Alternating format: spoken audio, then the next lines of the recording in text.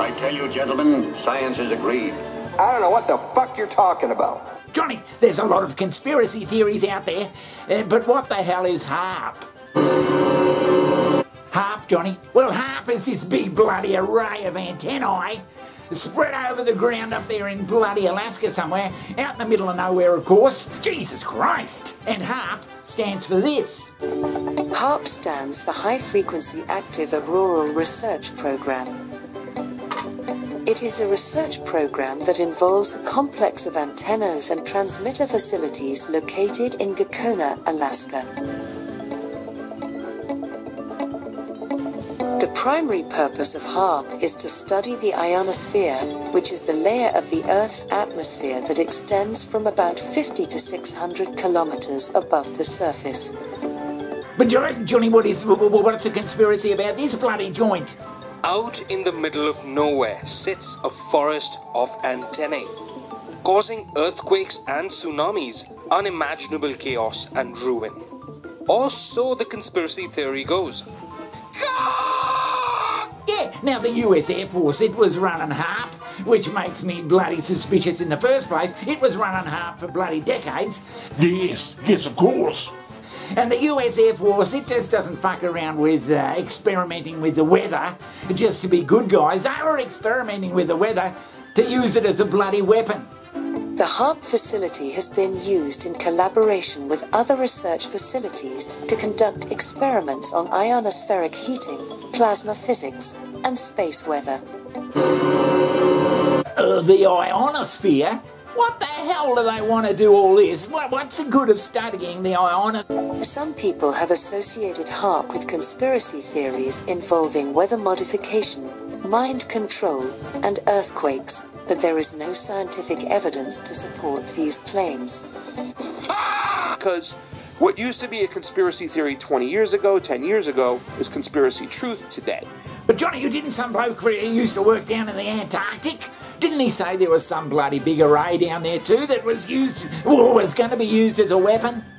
I had complete access to every compartment they manufactured. What are you blowing the whistle on? That there are technologies at the South Pole Station that people can't even consider that exist on this planet. Directed energy weapon systems is something that people need to get into their vocabulary fast. The IceCube neutrino detector is not simply a passive listening device as presented for the science that they're claiming it to do. It also has the capacity to transmit. There are embedded in the ice what are called digital optical modules, DOMs. They're about the size of a basketball. The array embedded in the ice is one kilometer by one kilometer by one kilometer. It is the world's largest telescope. And now, because we have proven that it can transmit, it's the world's largest directed energy weapons system. It is responsible for the earthquakes in Christchurch, New Zealand. I.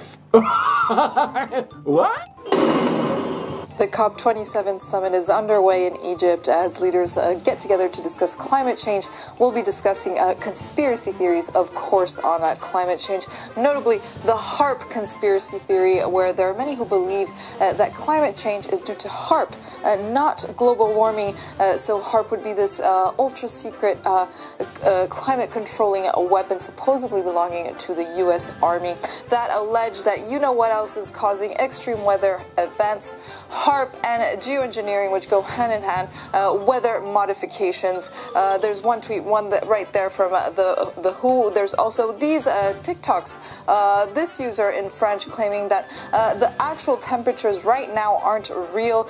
Do your research on HAARP. Or this video right here of this user from October, so pretty recent as well, as conspiracy theorists claim that HAARP is a weather modification ultra secret research program of the U.S. government. Mark? Yeah, and it involves shooting a bloody trillion watt, yes, trillion watt laser up into the ionosphere and exciting the bloody ionosphere, and they bloody sit around and see what happens. A trillion watt laser? How's that for a scientific experiment? That, that's just my observation, and I'm no scientist. Mm. They use these things, uh, and they call you crazy. You're crazy if you think there's any use of lasers, eh, you know, within our military against people. This was aired nine years ago today. Take a look at this. Lasers? Really? To change the weather? That's right. Well, as Mark Twain once famously said, everyone complains about the weather, but no one ever does anything about it. Well, instead of doing a rain dance, we physicists are firing trillion watt lasers into the sky to actually precipitate rain clouds and actually bring down lightning bolts. Holy shit! I mean, we here at the Ask Johnni Channel, we've been bloody sceptical about that sort of shit for quite some time. But there seems to be mounting evidence, especially bloody admissions from the bloody uh, US government, that that sort of shit might be taking place. Conspiracy theorists have linked the HAARP project to earthquakes and tsunamis all over the globe. Calamities blamed on HAARP by conspiracy theorists include the Haiti earthquake, which struck on 12th January 2010. The Japan earthquake and tsunami of March 2011 have also been linked to HAARP. Transmit, it's the world's largest directed energy weapons system. It is responsible for the earthquakes in Christchurch, New Zealand. I.